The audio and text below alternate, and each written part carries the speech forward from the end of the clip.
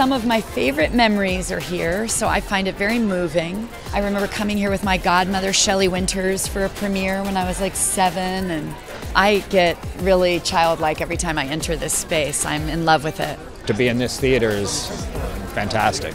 It's a great honor.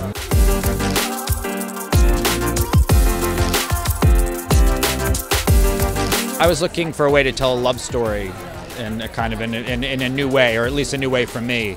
And uh, I sort of found this structure, I sort of telling a love story, but also telling the story of a divorce. Noah Baumbach is the greatest dream for an actor, the greatest writer for an actor, the most effortless, present, loving director you could dream of. I mean, it's just a dream come true. And with this cast, it was like really, truly like finding home.